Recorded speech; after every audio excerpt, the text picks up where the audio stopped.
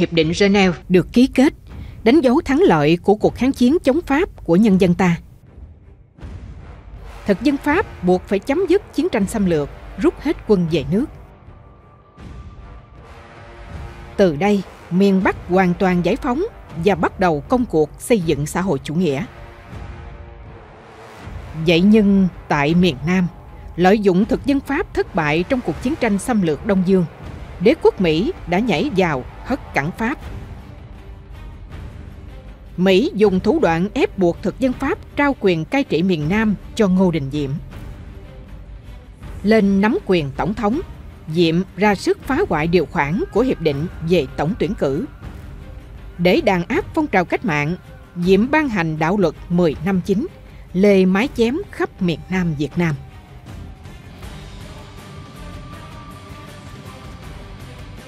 Đầu năm 1959, Nghị quyết 15 của đảng đã vạch ra phương châm đấu tranh chính trị kết hợp vũ trang. Cũng từ đó, phong trào đồng khởi đã nổ ra trên toàn miền Nam, mở ra nhiều vùng giải phóng. Năm 1961, đảng ta xác định cách mạng miền Nam gồm 3 vùng chiến lược để từ đó có phương pháp sử dụng thích hợp lực lượng vũ trang và phong trào quần chúng. Đội biệt động Cần Thơ ra đời hoạt động theo chủ trương đó và được chia thành nhiều lực lượng hoạt động rộng khắp địa bàn Cần Thơ.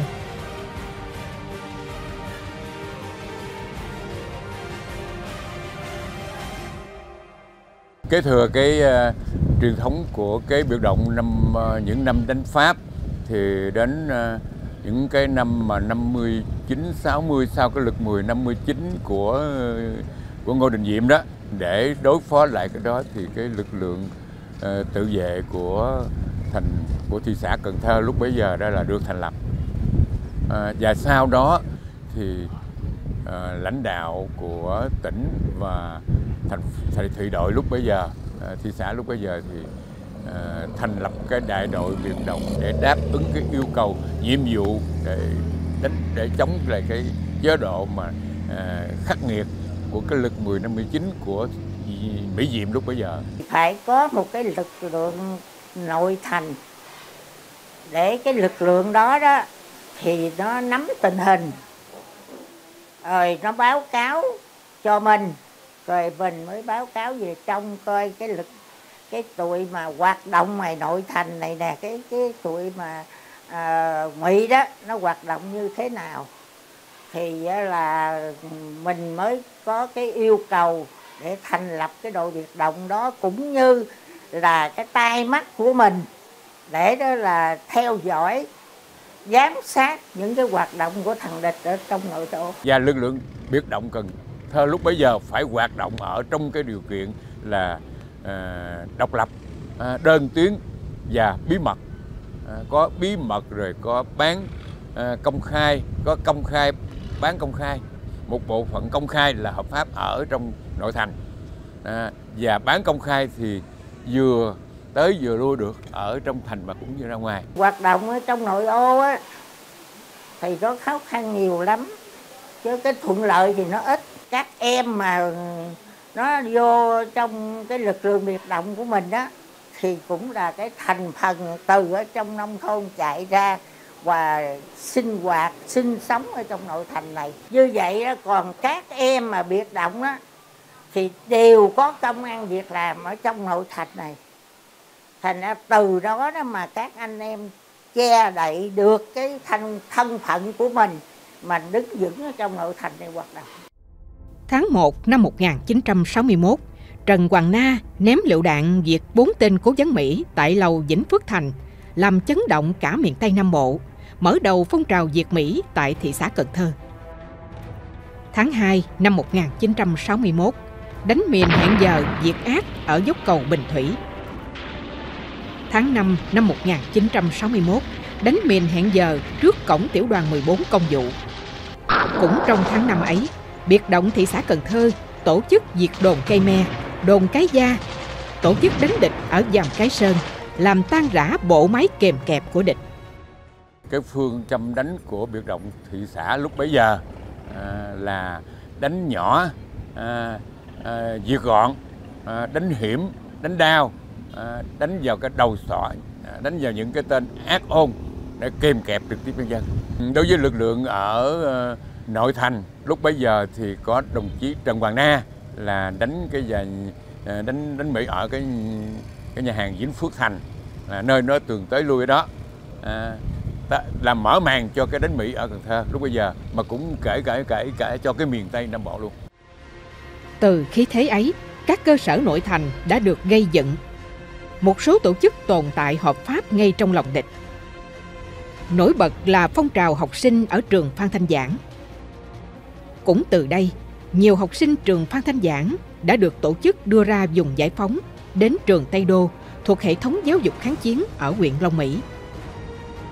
Tại đây, nhiều học sinh được lựa chọn để đào tạo văn hóa, chính trị và kỹ năng chiến đấu.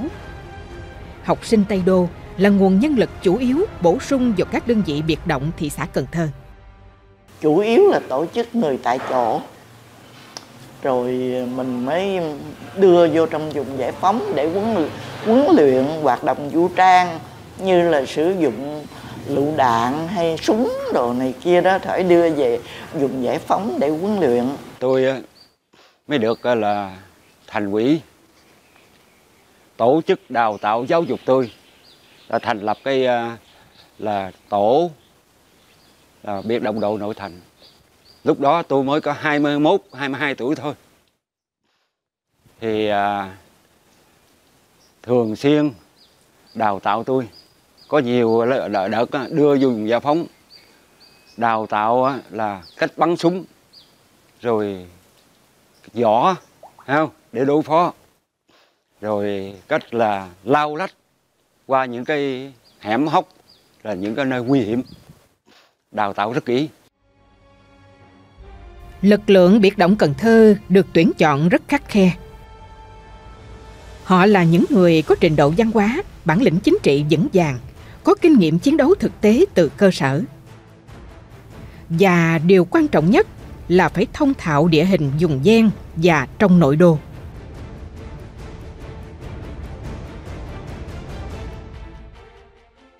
Đường đi mũi nào đi đường nào, anh nào dẫn dẫn đi. Rồi buổi nào anh nào là dẫn thì rõ ràng từng anh à, là biệt động đó là anh nhận nhiệm vụ hết anh làm sao không biết. Nhưng đó là khi cái mũi đó mà bộ đội vô tới là anh phải nhận bộ đội đó anh dẫn vô cho tới các cái cơ quan đầu não của địch mà mà đã chiếm chiếm lĩnh là đánh. Trước khi quyết định thực hiện đánh một mục tiêu của địch các chiến sĩ biệt động đều phải thực hiện công tác điều nghiên nắm tình hình quy luật hoạt động của địch và mục tiêu đó. Tức là bất cứ một việc nhỏ hay việc lớn đều có phải đi nghiên cứu hết. Để mà nhận định coi chỗ này á, mình phải đánh như thế nào đánh được hay không chứ không phải liều. Đánh được hay không mà đánh được á, thì phải đi con đường nào và ai đi ai làm cái chuyện đó đâu đó đàng hoàng. Mà trong cái tổ đó nó phải thông hết nó phải hiểu chỗ đó hết thì nó mới nhận nhiệm vụ. Chứ nếu mà mình không có đi giám sát trước, đi điều tra, đi nghiên cứu trước, mình không biết đường đi làm sao, lúng túng rồi, mình vô đó mình đâu biết đánh làm sao, đánh như thế nào. Cho nên là đều chuyện nhỏ hay lớn đều có phải nghiên cứu, phải là đi khảo sát hết, nắm tình hình lại đàng hoàng, cho là cuối cùng.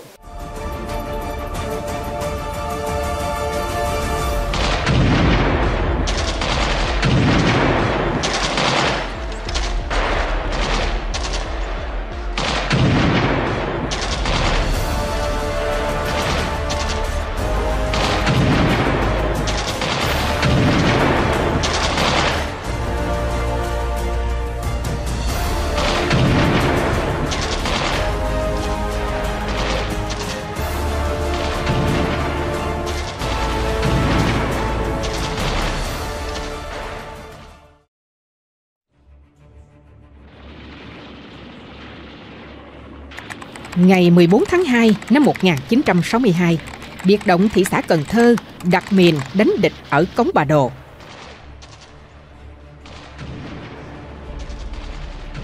Tháng 5 năm 1963, Nguyễn Ngọc Trai, đội viên đội biệt động thị xã Cần Thơ, được giao nhiệm vụ đánh vào khách sạn Trung Châu, nơi có nhiều binh sĩ địch lưu trú. Tháng 5 năm 1963, đánh hư nhà hơi Dường Bông. Tháng 6 năm 1963, biệt động thị xã Cần Thơ đánh lựu đạn tại quán thành Cảnh. Ngày 23 tháng 11 năm 1963, Nguyễn Ngọc Trai và Quỳnh Thị Thu đốt cháy phòng thông tin Mỹ. Ngày 6 tháng 8 năm 1964, biệt động thị xã Cần Thơ và du kích An Bình đánh kho xăng Esso Cái Răng, thiệt hại 300.000 lít xăng dầu. Ngày 10 tháng 6 năm 1966, đánh chất nổ vào cư xá Mỹ.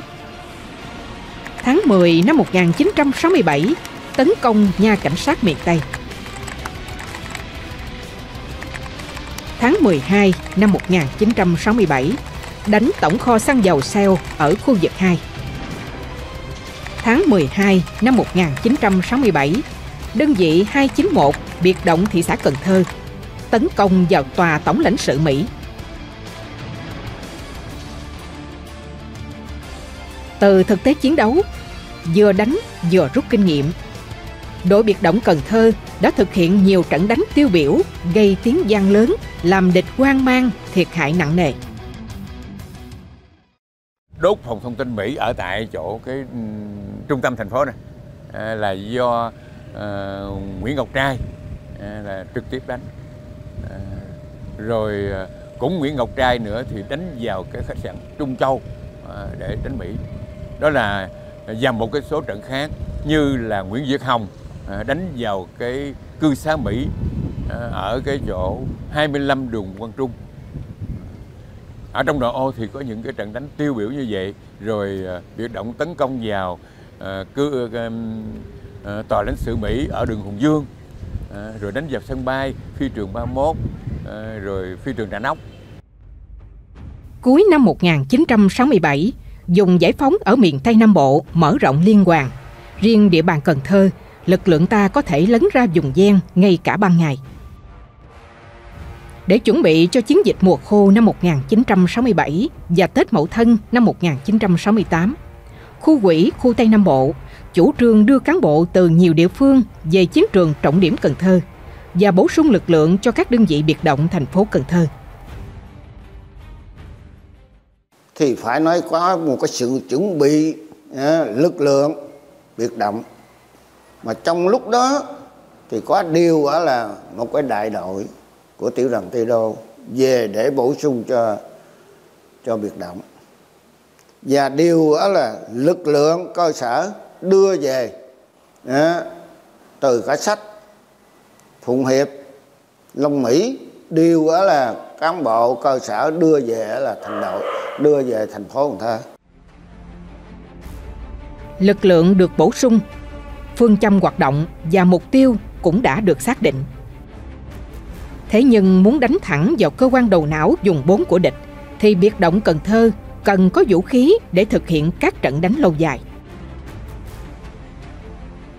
Tuy địch tìm mọi cách kiểm soát gắt gao đường sông, nhưng với sự khôn khéo và nhanh trí, các chiến sĩ biệt động vẫn đưa vũ khí và quân từ vùng giải phóng vào nội đô thành công. Ai hợp pháp thì đưa vô trước, ém trên quân trong thành phố. Còn cái lực lượng bất hợp pháp thì đi bằng ghe. Thì lúc đó đó tôi được ờ, phân công là chuẩn bị ghe để đưa lực lượng thì chuẩn bị 5 chiếc ghe khoảng trên dưới hai chục người. Ghe ghe lớn nhớ ghe chắc cũng cỡ chừng hơn chục hai chục tấn gì đó. Mình có cái ngăn có hai ngăn ở đây, trước hai ngăn ở sau hai ngăn ở đấy thì để súng để miền lựu đạn gì đó đây là và khi chở tới cái chợ sớm chài đó thì ghe đậu đó thì sáng là là có lực lượng mình xuống. Thì tối đó mình ghe mình chở xuống. Quân xuống ghe. Ở dưới là để vũ khí lót lên trên là người ngồi. Quá trang nó bằng bánh tráng, bánh phòng bằng trái cây, bằng ờ, mọi thứ hợp pháp để đưa quân ra. Thì cái ghe đầu tiên tôi đi đó là cách nhau mỗi chiếc ghe chừng 40 thước 50 thước. Thì đi dần dần thì ra tới cầu sáng thổi, quẹo vô thì vô bùng binh sáng nó coi như là chặn dạng tối. Thì vừa sụp mí tối nữa là đưa quân lên bờ, đưa vũ khí lên trên đường đi thì mình ghe nó vũ khí ở dưới hầm ở hai khoang. Nhưng mà tới ổn định được khuya lại thì mấy chị em mới là lựu đạn thì mình vô trong cái bục ừ, bục xi măng mà bán bán gạo 5 kg 5 kg thì một bọc vậy là trái lựu đạn. Còn súng AK thì vô trong bao trấu. Thì lúc bây giờ ừ, ừ, cũng bán ghe cũng bán khoai lang cái bán này kia đó. đó thì là cứ khoai lang hay là, là gạo thì mình lộn vô đó thì có lực lượng mình ở trên, nghĩa là nội ô mình được có lực lượng xuống mua. Thì như vậy là đưa quân, ém quân là hoàn chỉnh, đi ngang đồn bót thì cũng hợp pháp, cũng kêu réo rồi nói chuyện cũng bình thường. Thì nó không có để ý gì. Như vậy là quân mà vô thành phố xong hết rồi đó thì cũng không có bị lộ.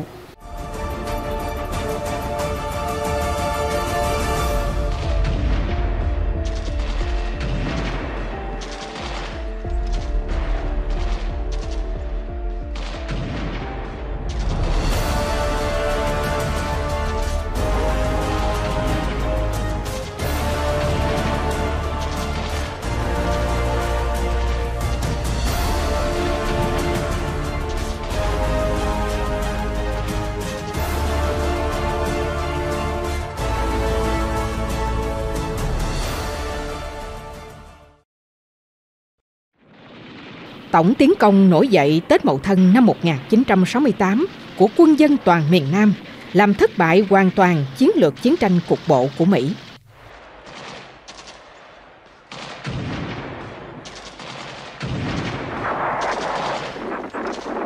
Đúng giờ rê, cũng là thời điểm giao thừa, các đơn vị chủ lực quân khu 9, tiểu đoàn Tây Đô và biệt động Cần Thơ đã đồng loạt rút bão lửa vào sân bay, kho tàng và bộ chỉ huy dùng 4 chiến thuật của quân đội Sài Gòn. Riêng lực lượng biệt động nội thành có nhiệm vụ phối hợp với các cơ sở, tổ chức quần chúng nổi dậy. Cái lực lượng của sinh viên học sinh này cũng phải chạy theo. Và chạy theo như vậy đó thì mới vận động quần chúng là à, để mà đấu tranh với lại cái cái lực lượng cảnh sát chìm biết nếu biết còn cảnh sát nổi và lực lượng ở bên bến xe mới đó là tụi à, Mỹ rất đông. Do đó mà phát động phong trào la hét um sùm luôn. Thực hiện sứ mệnh của một đội quân đặc biệt các chiến sĩ biệt động Cần Thơ tiếp tục chiến đấu và tổ chức nhiều trận đánh quy mô khiến địch thiệt hại nặng nề cả người và của. Nó đi một đội hình nó một tiểu đội mà nó đi một lần năm sáu đại đội vậy. Gục gụp gụp nó vô. Trời ơi, trời, chết rồi, bữa nay không, chắc không có sống nổi. Rồi cái bắt đầu mấy chú, mấy già hàng ngang cũng kệ, bao nhiêu cũng chơi chơi nó tới cùng. Nhưng cuối cùng sao mà nó vô tới công sự chừng khoảng trăm thước, cái nó quẹo ngang. Quẹo ngang, nó không vô nữa, nó, cái nó quẹo ngang, cái nó tấp qua bên ngay ba bảy. Ba bảy bảy quấn hết có biết luôn rồi, mấy chú đứng bên đây là dòm như phim mà, trong phim của của mình vậy rồi cái quánh tới 3 giờ chiều. Rồi cái ờ, mấy anh nói là bây giờ mình không có cách nào khác, giờ mình phải chi viện 307 chứ mình chơi mình ta quánh ờ, mình thua người ta tiếp, bây giờ người ta quánh mình không tiếp. Cái mấy chú mới cử lên, ba cây b 40 với là năm sáu cây AK lựa cái chỗ nào mà tụ ngụy nó gần nhất. Bên kia quánh nó sụt lại, nó đâu có tính mình, nó đây sụt lại bắt đầu mấy chú quất lại, nói, trời đất ơi b 40 mấy chú bắn ra. Mày thấy nó nó tung sát trên trời, mày thấy kinh kinh kinh. Trời ơi bắt đầu mấy chú tấp sau đuôi nó rồi. Nó quán hồn nó, nó giọt nó chạy thục ra.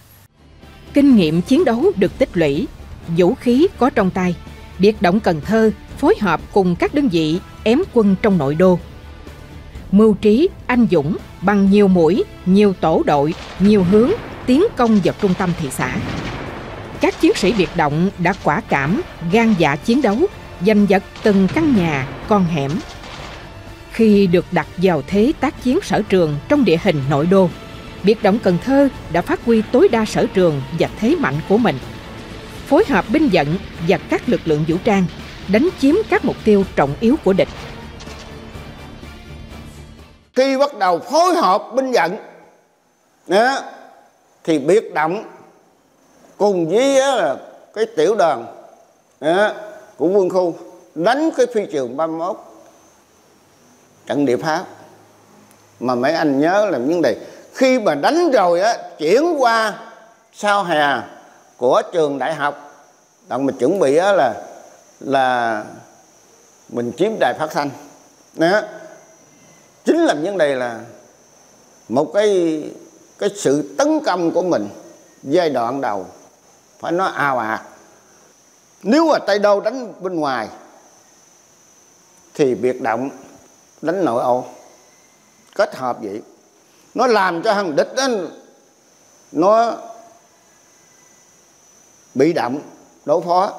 Ngày 17 tháng 5 năm 1969, đại đội biệt động 28 kết hợp du kích Long Tuyền, An Bình đã đặt mìn gạt chống địch hành quân càn quét tại bờ Ngâu, diệt và làm bị thương hàng chục tên địch.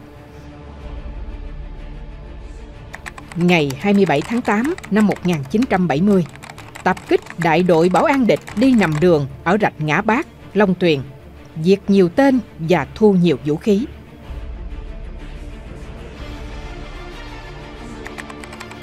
Ngày 19 tháng 5 năm 1970, đại đội biệt động 28 đánh quả lực vào trung tâm nhập ngũ số 4 ở gần chợ Tham Tướng, gây hoang mang cho địch. Ngày 5 tháng 6 năm 1970, đại đội biệt động 293 đánh địch càng quét ở rạch Ông Kinh, Long Tuyền. Ngày 29 tháng 9 năm 1970, phục kích tại rạch Cái Tắc, Long Tuyền, làm thiệt hại nặng trung đội thám báo tiểu khu Phong Dinh, thu hai súng AR-15, một máy BRC-25, 12 liệu đạn, diệt 3 tên, bị thương 4 tên. Ngày 1 tháng 10 năm 1970, phục kích tại trụ đá ranh làng An Bình, Long Tuyền, diệt gọn một tiểu đội trinh sát, đại đội bảo an 293 của địch, thu 11 súng AR-15. Ngày 14 tháng 2 năm 1971, đội biệt động Cần Thơ đánh vào câu lạc bộ sĩ quan Mỹ, làm chết và bị thương 86 tên Mỹ ngụy. Ngày 25 tháng 4 năm 1971, đại đội biệt động 823 phối hợp du kích xã An Bình chặn đánh một đại đội bảo an địch có xe tăng, máy bay yểm trợ, diệt gọn một trung đội địch, bắn rơi một máy bay trực thăng cán gáo tại ngã cái An Bình.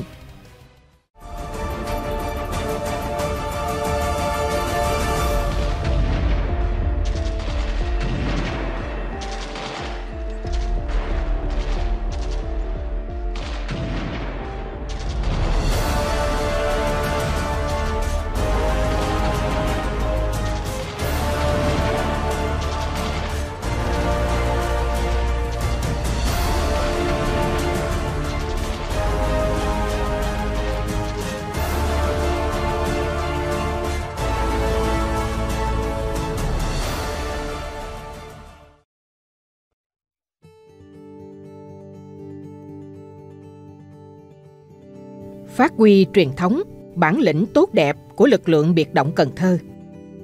Phẩm chất quý báu ấy tiếp tục được thể hiện khi họ trở về với cuộc sống thường ngày.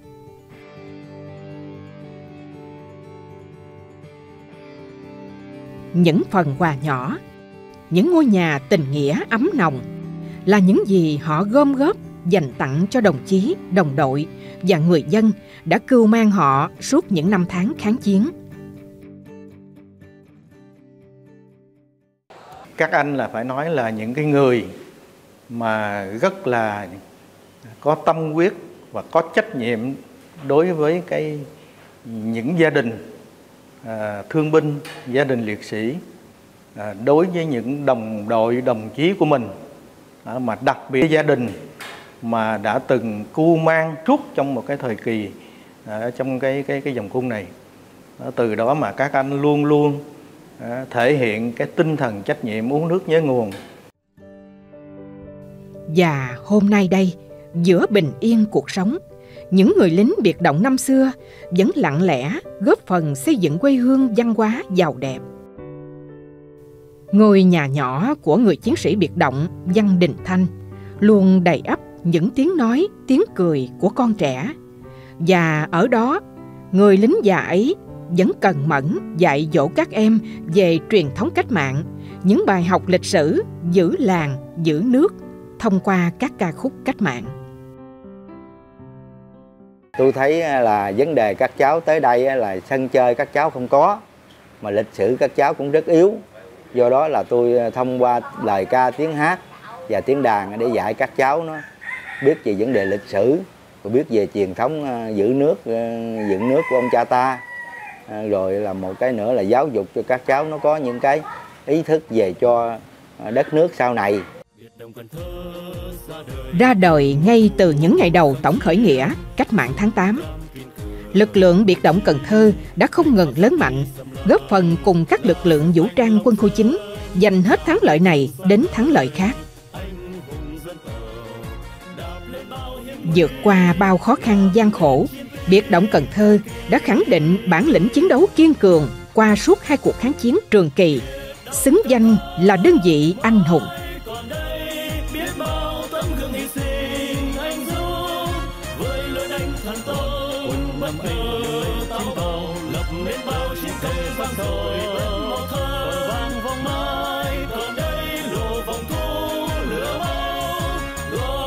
dân tộc làm nên đại thắng mùa xuân nhất nước nhà.